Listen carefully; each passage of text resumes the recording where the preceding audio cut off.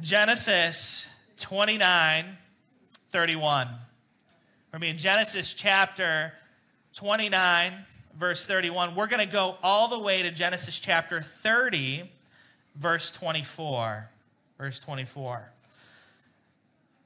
Last week, we saw the providential hand of God in Jacob's life. God providentially brought Jacob to a well where he met shepherds who knew Laban.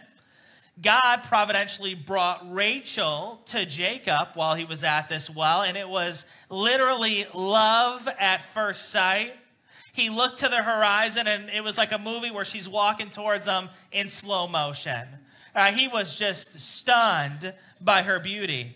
And then we saw that God used Laban's sin providentially to refine Jacob.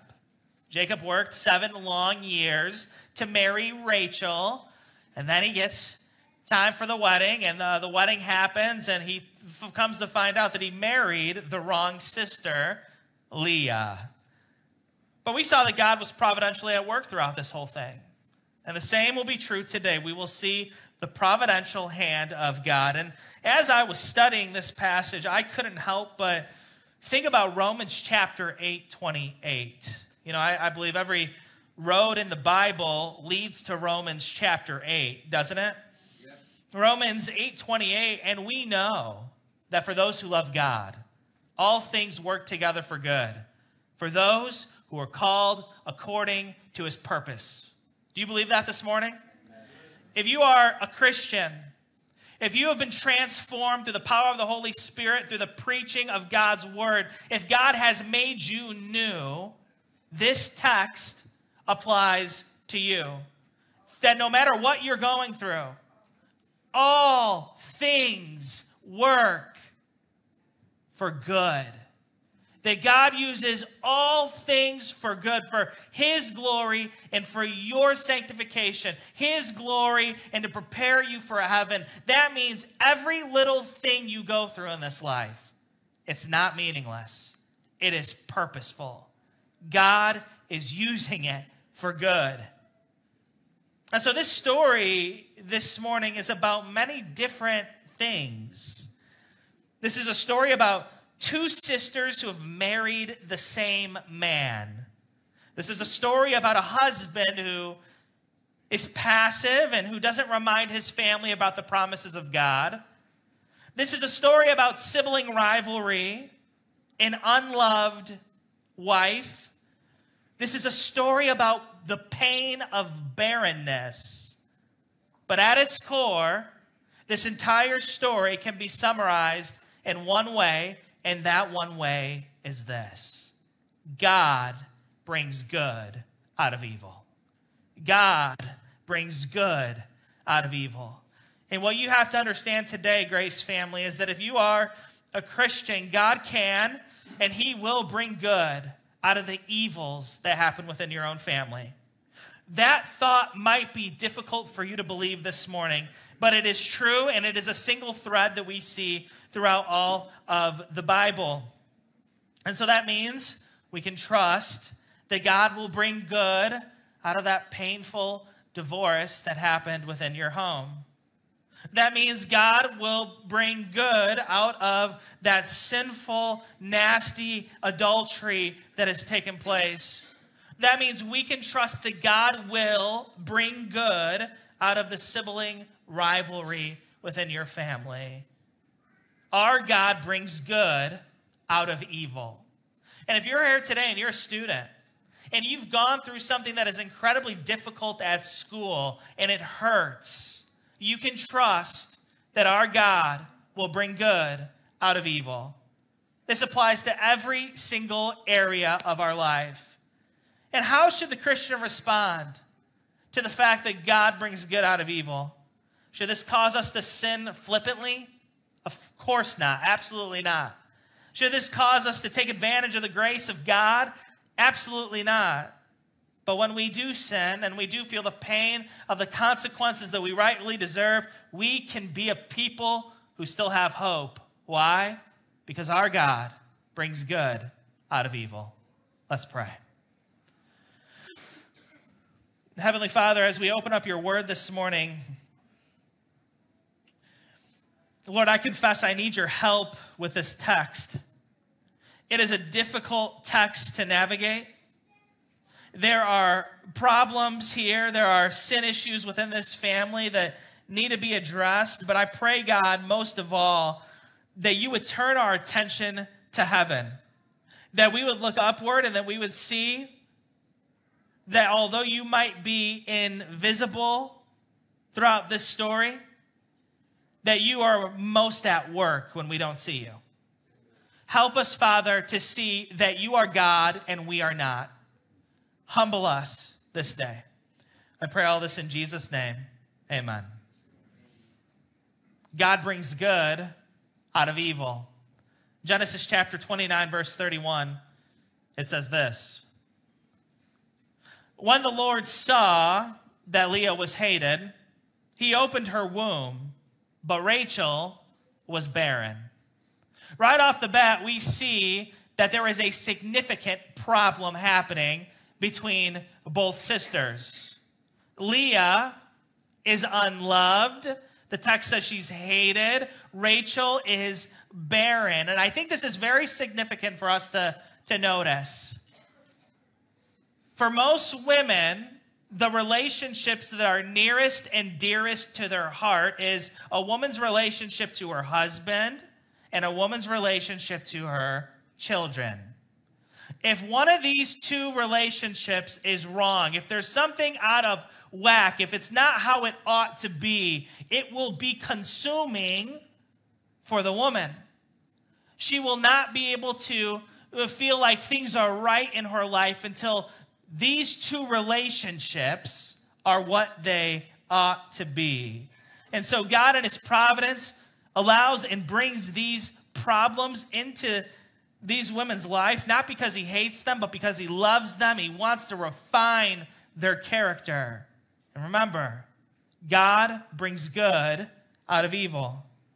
The text says that Leah was hated by her husband, Jacob. The word hated in Hebrew here means unloved. Jacob loved Leah less than he loved Rachel. And sometimes the word hated in Hebrew here even refers to looking at someone like they are your enemy. And so I think it's safe for me to assume that there were times when Jacob looked at Leah and he looked at her like she was his enemy. Think of all the things Leah had to endure. For starters, Leah's name means wild cow. Remember that? She is a shy, timid girl. She's the less pretty sister. Not only that, she was pawned off by dad at her sister's wedding. She married a man who didn't love her. Remember, Jacob worked 14 years for Rachel. He didn't work a single second for Leah. Leah is the wife who is unloved. Leah is the girl no one wanted. And I think we look at Leah's life and we wonder how could any good come out of Leah being unloved? Well, actually, the text tells us. The very beginning of this verse actually tells us how good can come out of being unloved. The very beginning of the verse says, The Lord saw. The Lord saw that Leah was unloved. And when the Bible says the Lord saw, you can be sure that God is about to act in a way that benefits the person he sees. In this case, he sees unloved, unwanted Leah. But God can bring good out of the evil of being an unloved spouse. Verse 32. And Leah conceived and bore a son. She called his name Reuben, for she said, Because the Lord has looked upon my affliction, for now my husband will love me. Even though Leah was unloved, God loved her. God blessed her with children. Her and Jacob have a child together, and they na- actually, Leah names him Reuben. Reuben means the Lord has looked and seen my affliction. And so she hopes with this child that her husband will love her. You see, what Leah wants most is her husband's love. Is that too much to ask for? She wants to be loved by her husband, cherished by her husband, cared for by her husband. She wants to be held and protected by her husband. She wants to be seen by her husband. And Leah hopes, maybe, just maybe, this child will be used to cause my husband to love me. Verse 33 She conceived again and bore a son, and said, Because the Lord has heard that I am hated, he has given me this son also. And she called his name Simeon. Leah now has son number two with Jacob. I want you to notice, though, she still says, The Lord has heard that I am what? Hated. Even though she's given her husband not just one son, but two sons, he still does not love her. Could you just imagine waking up every single day knowing that your spouse doesn't love you? Leah lives in a loveless marriage in a loveless marriage feels like a prison cell with no way out. Verse 34. Again, Leah conceived and bore a son and said, Now this time my husband will be attached to me because I have borne him three sons. Therefore, his name was called Levi. Leah now has son number three with Jacob. She calls his name Levi. Uh, she says, Now that I have this son, now, now maybe, just maybe, my husband will be attached to me. But here's the truth no matter how many children Leah has, Leah will always be the girl no one wanted. And Grace family, what we have to understand is that your children cannot fix your marriage problems. There are so many people today who believe the solution to their married, married problems, marriage problems, is to have children. They think to themselves, man, I'm struggling, you're struggling, I know what we should do. Let's have kids. Then everything will be better. That's not how it works. That's not how it works. Children will not fix your marriage problems. Children do not have the ability to fix the dysfunction within the home and the family. That is something only God can do. Uh, children have a way of magnifying our sinfulness because they're sinful just like mom and dad. And so, not even kids makes Jacob love Leah. And so, finally, verse 35, we see a change. It is not a change in Leah's situation, but it is a change in Leah's perspective. Verse 35 And she conceived again and bore a son. And she said, This time I will praise the Lord. Therefore, she called his name Judah. Then she ceased bearing. And so Leah has son number four. Leah calls him Judah. And I want you to notice something here. There are four verses here. These, these verses are short for us, but they were long for Leah. There are years that are going on through these verses. It is years that her husband doesn't love her. It is years God allows her to suffer in this way. And God is using it to refine her character and to change her perspective until finally she has the fourth son, Judah. And even though she's unloved, she says, I will praise the Lord. Praise here is the Hebrew word for yada. It is the Hebrew word to lift up your hands. And so, although Leah is unloved and unwanted, She says, I will yada, I will lift up my hands, I will praise the Lord because God is my true source of love. I want to pause here for a moment and speak directly to the husbands.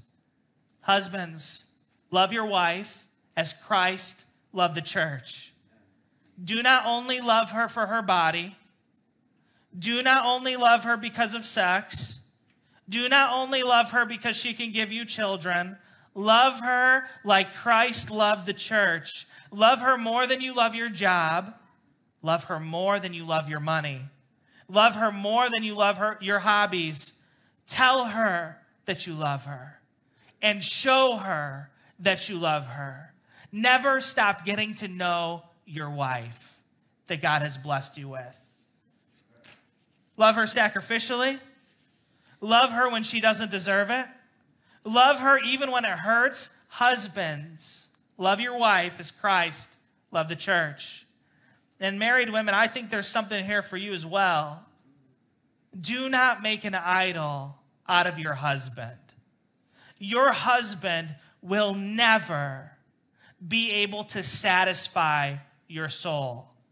Your husband will never be able to be to you what only Jesus can be to you. Your true source of love is not your husband, it is Christ. Leah wants her husband's love more than anything else. No matter how many children she gives him, she'll never be able to receive that love from him. But, Grace family, our God brings good out of evil. And this is really the first place we see it.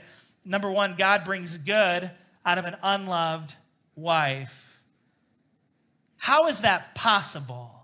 Here's how Jesus Christ will come through the line of Leah, the unwanted wife. He is a descendant of her son Judah. From this unloved wife would come the lion of Judah, whose roar will shake the very foundations of all of creation. And isn't it poetic? From the unwanted wife would come the unwanted Savior. Jesus was a man of many sorrows. He was despised. He was rejected by his own people. But from this unwanted wife would come the unwanted Savior of the world.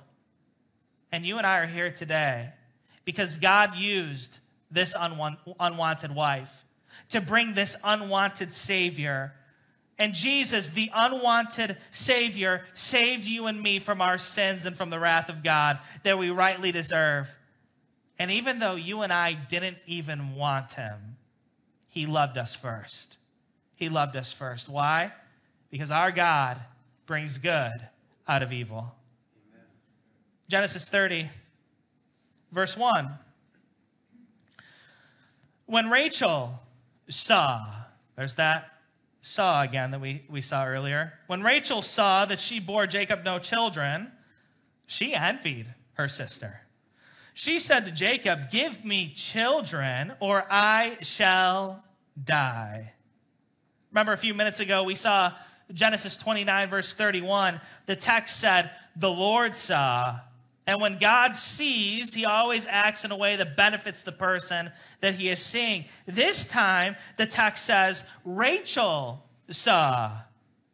And Rachel will not act in a way that benefits her sister, and she will not act in a way that benefits her husband. She will act in a way that benefits herself. At the end of verse 1, it says that Rachel envied her sister. Envy here means that she is grieving over her sister's happiness. Instead of being happy for her sister, instead of rejoicing that her unloved, unwanted sister had children, Rachel is envious of her sister. And I think this must have been very difficult for Rachel to see. I mean, think about it. Rachel's not used to taking a back seat to her sister Leah.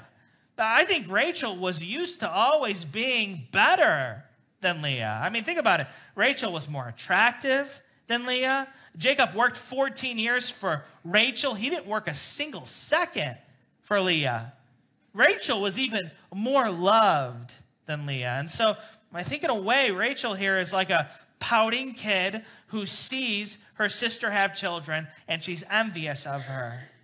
Now, I don't want to make light out of the pain that comes with barrenness. One of the most difficult, heart wrenching things a couple can go through is barrenness. And there are people in our congregation who are able to have children, and there are people in our congregation who are not able to have children. As a community, as a, as a faith community, as a church, as the body of Christ, we are to weep with those who weep, and we are to rejoice with those who rejoice. And so instead of rejoicing with her sister, Rachel becomes envious. And then at the very end of verse 1, we see Rachel lashes out at her husband Jacob. She says, Give me children, or I shall die. And she blames Jacob for her barrenness in verse 2. How does Jacob respond? Jacob's anger was kindled against Rachel. And he said, Am I in the place of God who has withheld from you the fruit of the womb? The word kindled here in Hebrew means that Jacob became red hot. He's seeing red, his heart rate begins to skyrocket, and he angrily looks at his wife and he tells her, Don't blame me. It's not my fault. I'm not the author of life. I'm not God. It's not my fault. Don't be mad at me. God is the one who determines who has kids and who doesn't. Now, I think there's something to be said here because Jacob does have good theology, but I think he shares this theology, this understanding of God, in an incorrect kind of a way. Jacob is right, God is the author of life, but I think Jacob is wrong in how he shares this truth with his wife in an explosive kind of a way. I, I, think this is important for us to see because we need the right temperature when we give out the medicine of truth. Uh, Jacob, Jacob really should have said, Honey, listen, I know this situation isn't ideal. I know this isn't what we wanted. This isn't what I wanted, but we need to come together and we need to pray. And we need to trust in the promises of God. God made a promise to make us a great nation, and, and you're part of that promise. So let's come together and let's pray and cry out to Him and wait and see what God does. But instead, Jacob doesn't do that. Jacob ultimately yells at his wife and is angry. Jacob is angry. Rachel is angry. And I think their anger reveals that they are ultimately both angry with God who is not providing for them in this way. And so, where does Jacob's lack of leadership and Rachel's envy lead us? It leads to sibling rivalry. It leads to a tangled mess of sin and a dysfunctional home. But again, Grace family, remember, God brings good out of evil. Let's see how. Verse 3 Then Rachel said, Here's my servant Bilhah.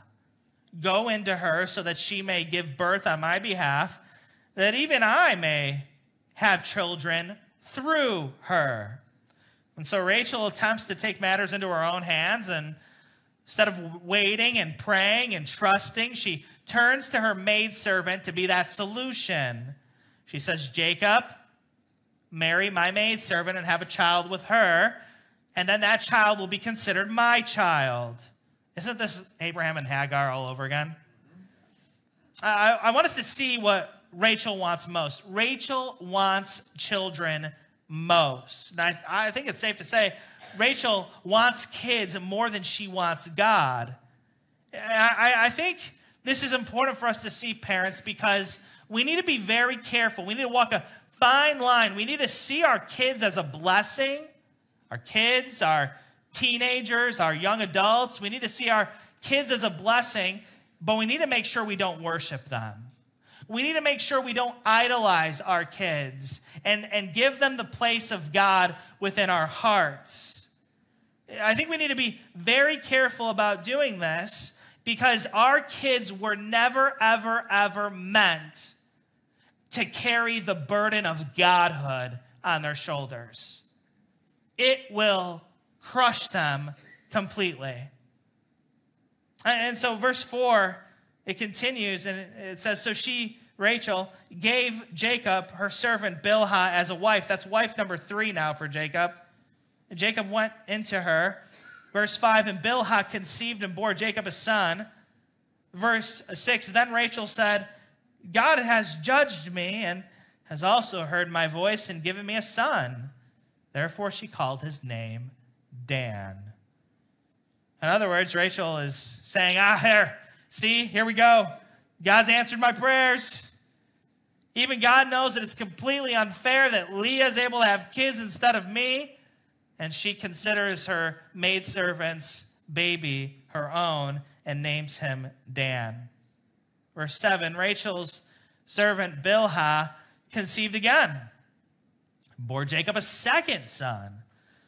Then Rachel said with a mighty rustling, I have wrestled with my sister and I have prevailed. So she called his name Naphtali. And so again, Rachel uses her maidservant. Jacob has a second son with Rachel's maidservant. She names her son's maidservant or her maidservant's son Naphtali. And she does it because she's feuding with her sister. Could you just imagine naming one of your kids uh, a Hebrew name which means take that, sister? Could you just imagine that? Is that crazy? But this is what's going on here. I, I can almost hear a sports announcer uh, saying, and the score is Leah 4 and Rachel 2. Momentum have shifted into Rachel's favor.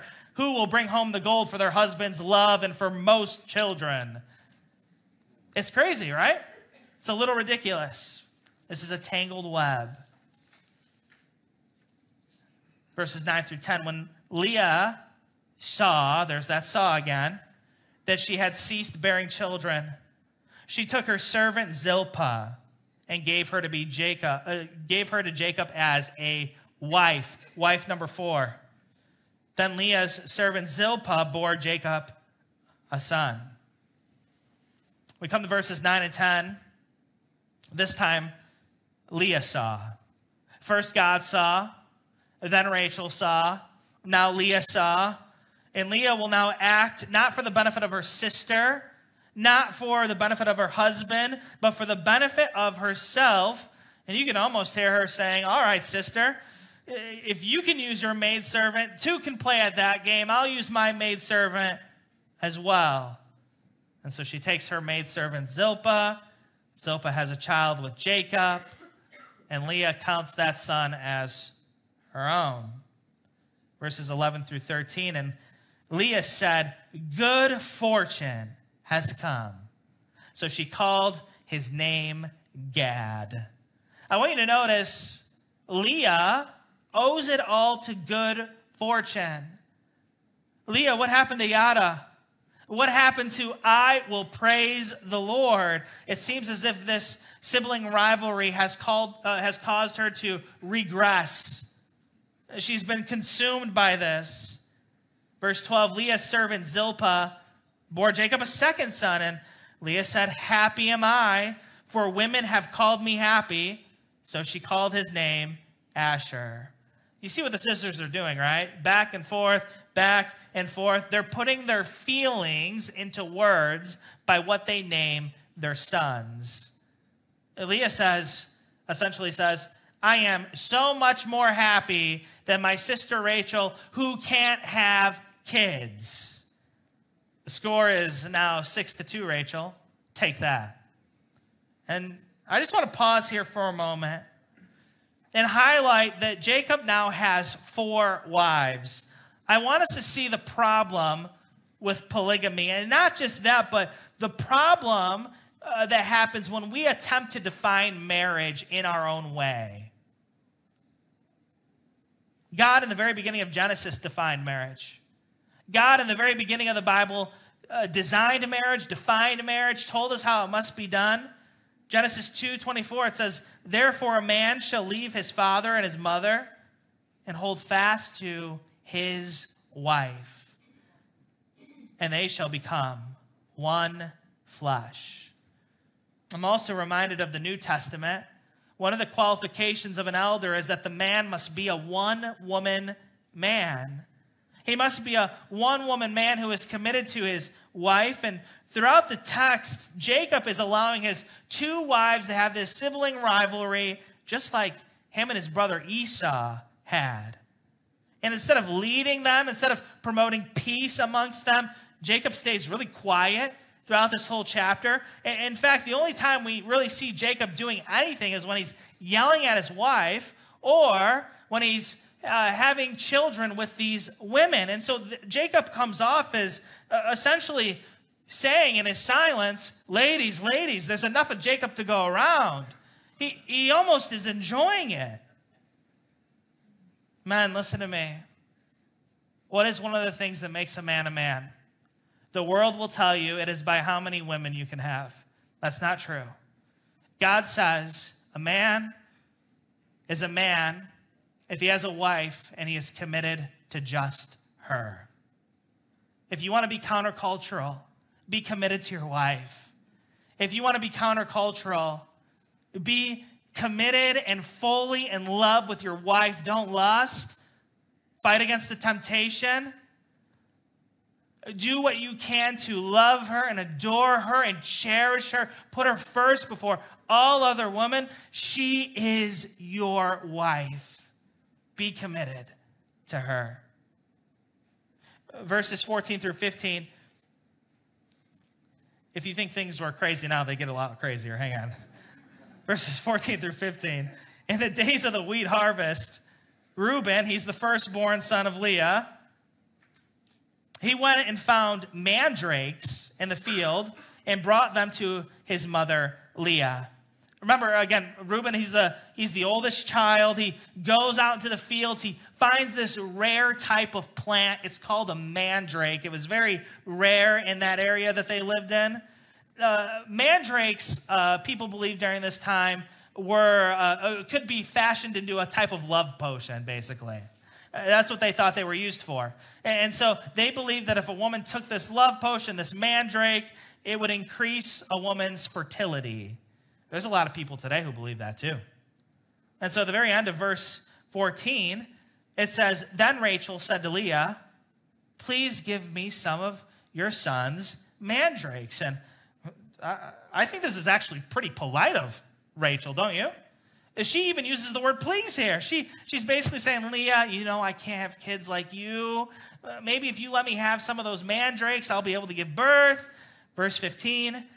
But she, Leah, said to her, Is it a small matter that you've taken my husband?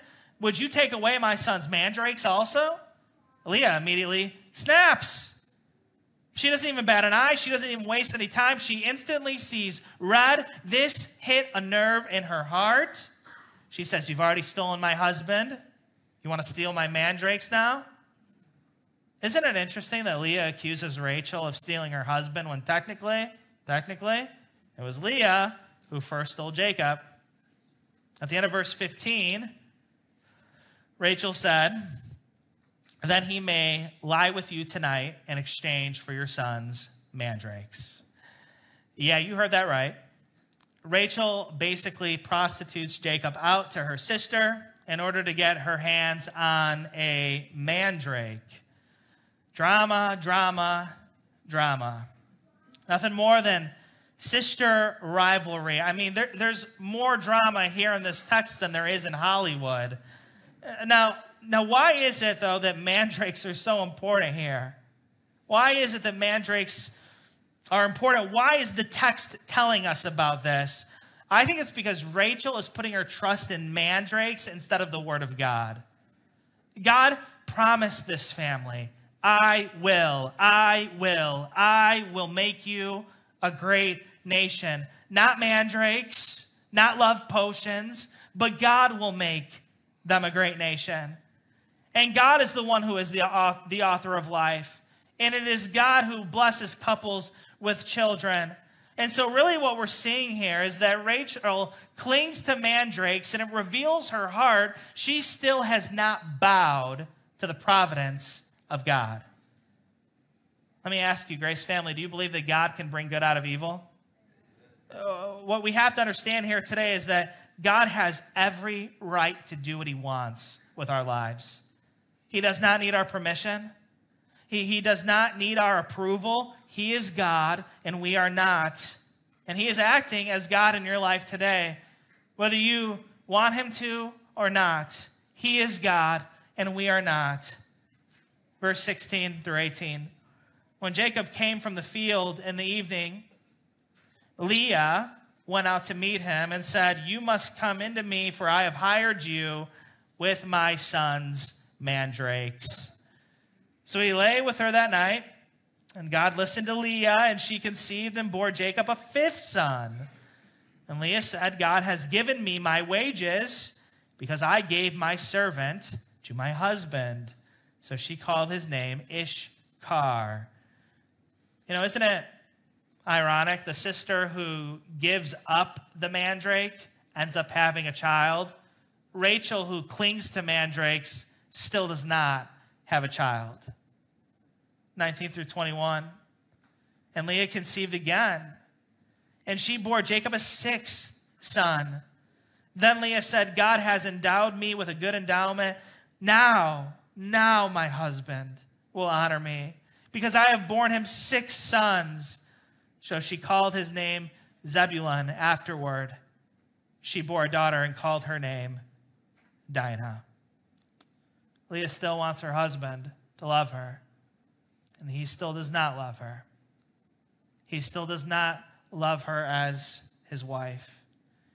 What a mess. What a tangled web that we have here. This sibling rivalry has torn this family apart. It's hard to even call this family a family because of how they act like an enemy towards each other. And what's sad is that this sibling rivalry between Leah and Rachel will even trickle down and spread amongst the children. How can any good possibly come out of this sibling rivalry? That's what I want you to see here. Number two, God brings good out of sibling rivalry. How? Well, you might not know this, but this is actually the origin story of the 12 tribes of Israel. Out of this sibling rivalry will come all these kids, and, out, and from all these sons will come the 12 tribes of Israel. And Israel will be the nation God will use throughout the Old Testament to set his glory on display. And from Israel will come the patriarchs and the prophets and the Old Testament, and even Christ himself will come out of these 12 tribes. And so you could just imagine an Israelite reading this. Moses is writing it to them, and he's helping them to see let's be careful not to think we're so high and mighty than the other nations. Look at our origin story. We come out of a tangled mess, a family that's dysfunctional. But there's a truth here we have to hold on to. God brings good out of evil. Last verses we'll cover today Genesis 30, 22 through 24. Then God remembered Rachel. It was at that moment God then remembered Rachel. At just the right time, God remembered Rachel. And it says, And God listened to her and opened her womb. She conceived and bore a son and said, God has taken away my reproach she called his name Joseph, saying, May the Lord add to me another son. This is beautiful. It says here that God remembered Rachel. That doesn't mean that God forgot Rachel like you and I forget what we had for breakfast this morning. No, it means that God is putting his hand on Rachel in a special way. He's about to open her womb in a special way. It, the text even says, God listened to Rachel. I think this means that God brought Rachel to a place where she saw that she only had him. No more maidservants, no more mandrakes, just Rachel and God. And God blesses her, and he opens her womb, and Rachel gives birth to a son, and that son's name is Joseph. And then she says, God has taken away my reproach, my disgrace, my inability to have children. And then she ends by saying, May the Lord add to me another son. What does Rachel want most? Children. Is one enough? No. She ends by demanding God to give her more. I want to land this plane this morning by highlighting how God brings good out of this woman's barrenness. And that's the third and final point for you. This barren woman, she has a, a son named Joseph. And if you know anything about Joseph, you know Joseph at the end of Genesis will be a major player. Joseph one day will grow up and become second in command in Egypt. From this barren woman, God would bring this boy, Joseph. And when the land experiences barrenness from a famine, it will be Joseph God uses to bless the nations. Why? Because our God brings good out of evil. Rachel has no idea, but God had, uh, had a plan for the exact moment he wanted Joseph to be born. She couldn't see it, she couldn't understand it, but it's true. God brings good out of evil. Grace family, look at your life right now. I want you to look at the place in your life where you think no good will ever come out of. Maybe that's within your family. Maybe that's within your marriage. Maybe you feel like you've reached that place with your kids or your, your siblings. Maybe you feel that way. You're here and you're feeling that way about school today. I want to speak truth into that. God can bring good out of evil. He's done it before, and he will do it again. Let's pray.